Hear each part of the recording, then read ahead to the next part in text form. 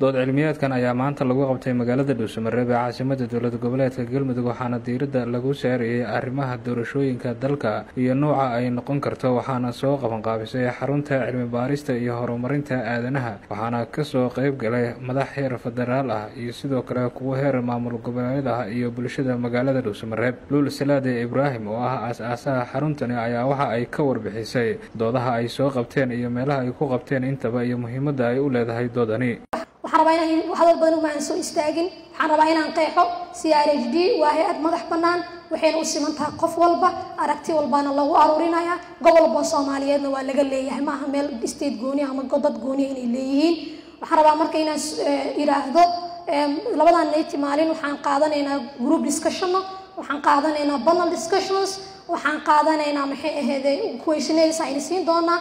Waa ka soo shaqayn doontaan madaxda oo ugu horreeya maxay gudoomiye gacan aada uga mahad celinaynaa gudoomiyaha baarlamaanka dowlad goboleedka galmudug maxamed nuur gacal oo ka soo qeyb galay dood cilmiyeedkan ayaa ka sheekeeyey hanaankii wax lagu soo doortay labaatankii sano ee la soo dhaafay ee dalku uu soo maray. Mar haddii laga wada shaqaynayo loo wada heelan yahay waxay ku tusaysaa in doorashadu ay haysato fursad fiican ay haysato.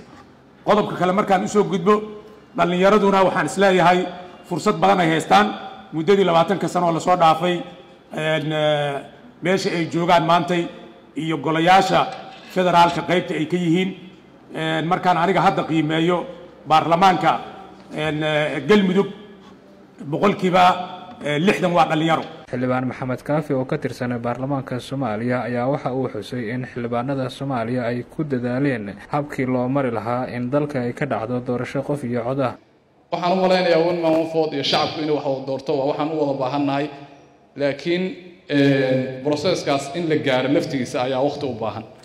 Annaga ka baarlamaan ahaan in la gaaro waa waa go'aansanay waana ka shaqayn waayo sharciyadiina laka sugaya waa dhammaystirnay. Waxaa la rabo in ay fuliyaan waa xukuumadaha dalka ka jira hadday federaal yihiin iyo hadday members yihiin. Marka taas laftigeeda iyagiina laguma dhaliili karo oo waxay u baahan yihiin time maadaama waqtigu waqtiga lagu jiro uu adag yahay dhulkana waxa weeye siyaabo kala duwan aan loo qaban karin oo in badan laga soo sheekeeyey. Marka sidaa darteed waxba kuma bacsami jirin iyadana sidii hore oo wax lagu dooran jiray. Dood cilmiyeedkan ayaa muddo laba maalmood ah ka socon doonta magaalada dhuusamareeb iyadoona la isku weydaarsan doono aragtiyo kala duwan oo la xiriira nooca doorasho ee dalku uu geli doono. Maxamed cabdi maxamed warbaahinta qaranka dhuusamareeb